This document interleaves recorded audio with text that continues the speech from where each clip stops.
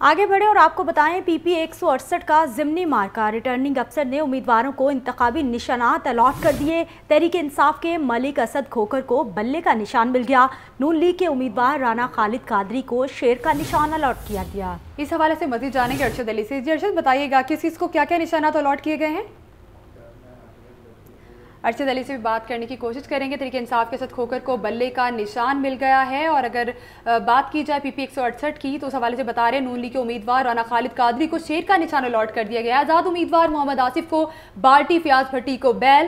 پی پی ایک سو اڑسٹھ امیدواروں کو انتخابی نشانات الاٹ کر دیے گئے ہیں اور ایسے میں طریقے انصاف کے اسد کھوکر کو بلے کا نشان مل گیا ہے۔ اور اگر بات کی جائے نون لیگ کے امیدوار رانا خالد قادری کو تو ان کا شیر کا نشان الاٹ کر دیا گیا ہے۔ اس پر ایک بار پھر بات کریں گے ارشد علی سے۔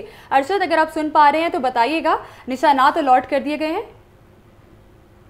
جی بالکل، امیدواروں کو جو ہے وہ آج پی پی ایک سو کے گیارہ امیدواروں کو مختلف انتخابی نشانات الاٹ کر دیے گئے ہیں۔ اگر پاکستان تحریک انصاف کے رہنما کی بات کریں تو ان کو تحریک انصاف کا جو پارٹی نشان ہے، انتخابی نشان بلہ ملک کھوکر کو جو ہے وہ الاٹ کیا گیا ہے۔ جبکہ اس کے ساتھ ساتھ مسلم لیگ نون کی اگر بات کریں تو مسلم لیگ نون کے رانا خالد قادری کو انتخابی نشان شیر اور اس کے ساتھ ساتھ تحریک لبئی کی بات کریں تو تحریک لبئی کے امیدوار ساجد محمود کو انتخابی نشان کرین اور اس کے علاوہ آٹھ آزاد امیدواروں کو جو ہے وہ جن میں محمد آصف کو انتخابی نشان بالٹی محمد فیاض بھٹی کو بیل اور محمد نواز کو ٹوٹ برش اور اس کے ساتھ ساتھ محمد وحید گل کو آئس کریم اور محمد وسیم بج کو انتخابی نشان پینسل اور اس کے ساتھ ساتھ ملک محمد حنیف عوان کو جو ہے وہ انتخابی نشان سالہ الاؤٹ کیا گیا ہے۔ امیدواروں کو جو ہے وہ انتخابی نشان الاؤٹ کرنے کا آج آخری روز تھا۔ امیدواروں نے اپنی پسند کے ذریعے جو ہے وہ